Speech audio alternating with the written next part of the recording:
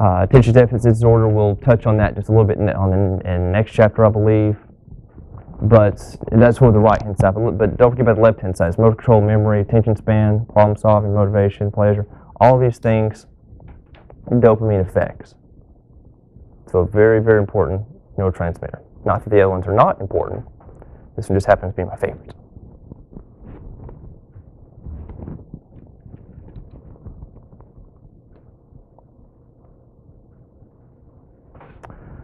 Uh, noradrenaline um, and serotonin are two more. And let me check on something real quick. I'll come right back. Okay. Um, for some reason, I didn't, the book put these together. Um, so I will talk about them together and separate. So we have two neurotransmitters basically here, the noradrenaline and the serotonin, and you can see what's involved with the appetite, sleep, mood, temperature, hormone release. But also um, depression or mood disorders. So if you're not producing enough serotonin, then patient sad. So low serotonin equals sad patient. So, so low serotonin equals frown face.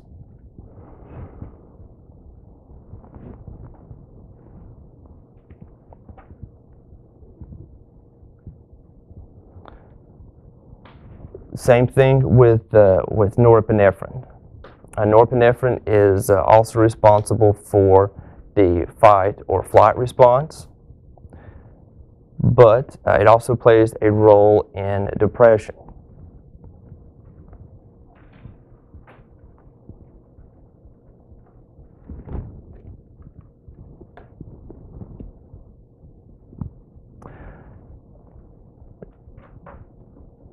Serotonin syndrome is a toxicity of serotonin, and usually this happens with an overdose of serotonin, or is it not an overdose of serotonin, overdose of antidepressants. Usually it's drug induced.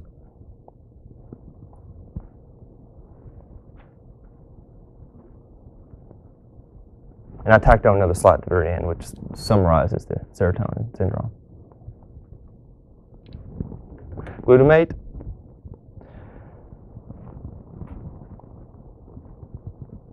Uh, it's an amino acid um, that is responsible for uh, cellular metabolism and some of the things that it can affect. So for example, too much glutamate has been associated with seizures.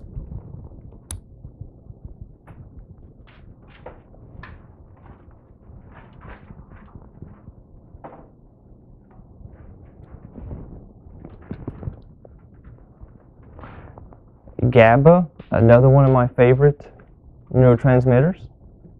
We're talking about a GABA a lot in chapter 5. Uh, one, of the, one of the drugs that affects GABA is, or not drug, but drug classes that affects GABA is benzodiazepines.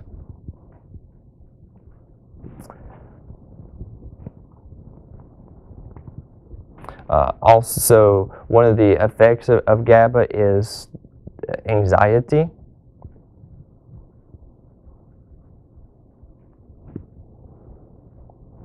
And it does uh, increase the amount of, hu of human growth hormone.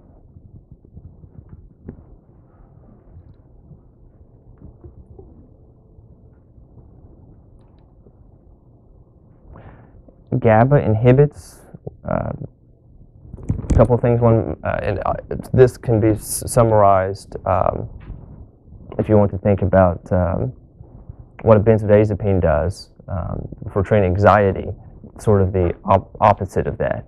So motor control, uh, consciousness, arousal level, memory formation,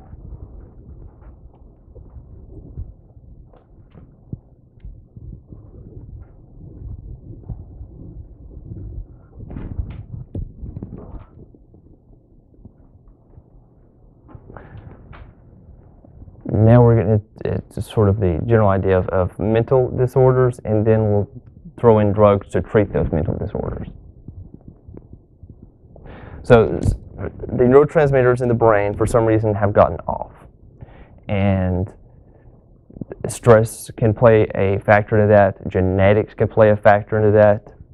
Age can play a factor into that. Uh, and also, situation can play a factor in that. For example, midterms coming up for your classes, not just this one, so you may be a little depressed because of that.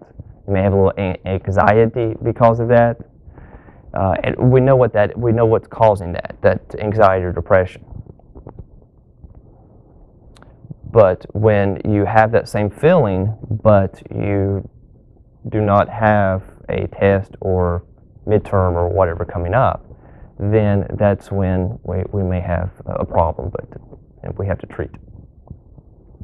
You will learn, well, theoretically, you will learn in psychology um, for the treatment of some of these, group therapy or, th or therapy in general, um, and altering certain things in your life. But in pharmacology, we like to throw drugs at problems, especially me.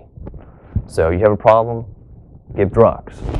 So psychology, we'll leave that for for the for the uh, group therapy, but for here we'll talk about just throwing drugs at problems. So my theory behind that, you can pay a psychologist $150 an hour to, to say that your mother did not hug you enough when you were a child, or you can go to the pharmacy and pay 30 bucks for some Paxil and uh, make you happy for a month. So it, that's my uh, that that that's my personal uh, philosophy on that. Uh, schizophrenia. We, I, I, may have a video or, uh, or, a little short video to show you at the very end on uh, example of a patient with schizophrenia. But uh, distortion of reality, uh, disorganized thoughts, uh, patterns, their sentences are often chopped up. They sometimes called a word salad because the words are sort of put in and sort of all chopped up social withdrawal, hallucinations, poor judgment. Which neurotransmitter affects schizophrenia that we discussed?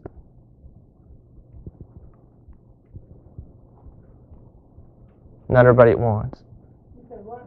Which neurotransmitter did we discuss that affects uh, schizophrenia?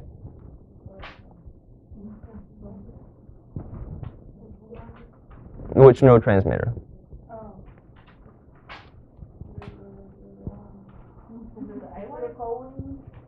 Mm-mm.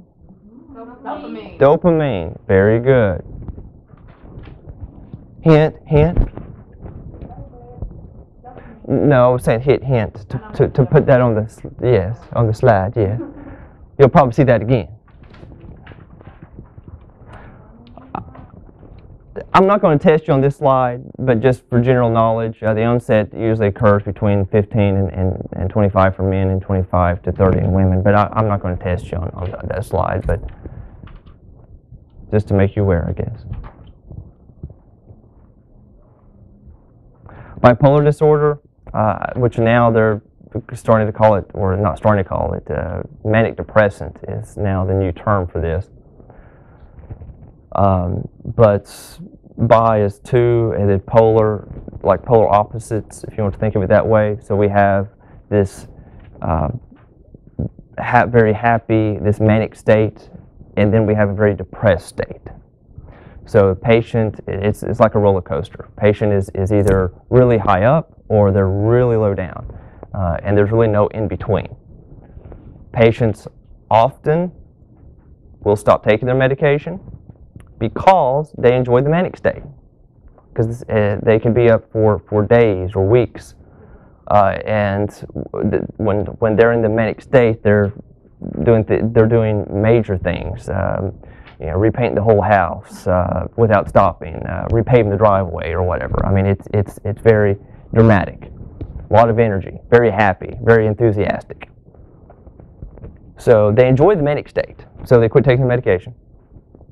And then when the manic state stops and then it falls into the deep depression, the, then the deep depression uh, patient, uh, and again, there's different levels of this or, or severities. I'm, I'm, sort of going to the extreme to, to give you my example, but um, then with deep depression, patient may not even be able to get out of bed for days, weeks, months. uh, and then it just goes over again, cycle, ups and downs, ups and downs. Um, but um, we give medication to kind of help smooth that over. But when we do that, um, the patient's not going to be in that, that manic state, so they just quit taking the medication. Uh, you may also see this referred to as manic depressant, and I think that's what most textbooks now are moving over to. I don't know why they're moving over to manic depressant, but they, they are. I guess it's more politically correct. So moving from bipolar to manic depressant. And again, it, it, it can take uh, up to months moving from one state to, to another um, of this roller coaster that the patients ride on. Uh, depression,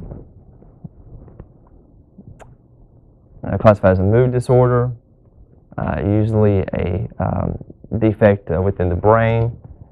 Um, if it is a chemical, and I've got a slide in just a moment which will, which will differentiate because again, it could be depressed over midterm coming up or maybe you lost a pet or something along those lines. If you're depressed about that, um, versus something that is biological where there is not enough neurotransmitter or that is being produced or released. Depression often is uh, untreated, but with that said, depression is oftentimes called the common cold of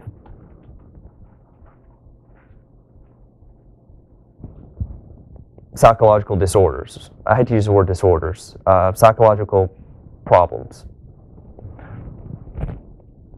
Now, because we have better medication to treat. Before, with the medication and the side effects of the medication, it was almost better to just, if your depression was not that severe, just to try to deal with it versus taking the medication. Um, but now we have better medication that works quicker, uh, compliance is better, uh, fewer side effects, onset of action is quicker. So depression is being diagnosed and treated more now than it was years ago. Um, again, because we have better medication on the market.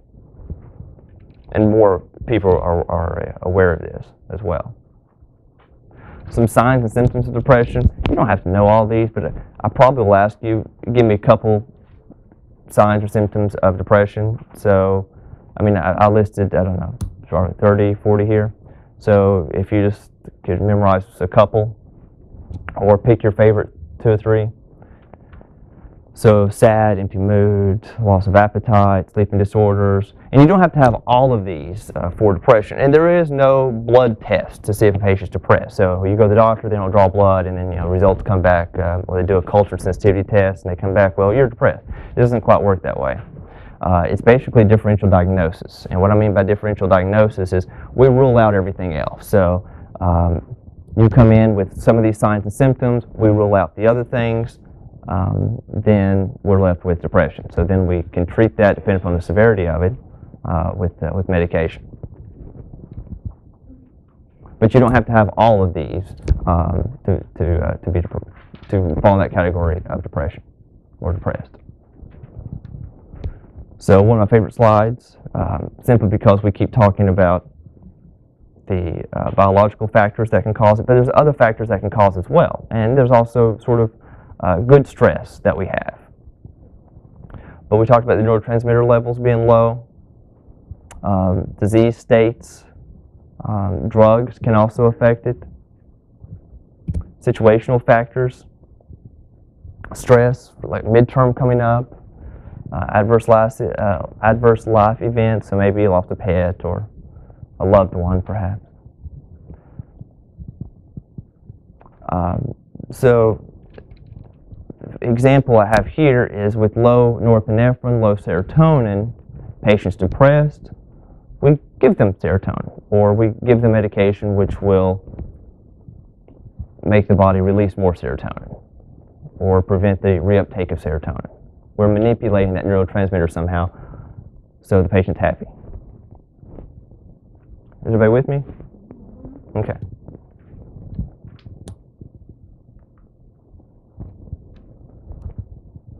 Dementia, uh, which neurotransmitter, uh, well,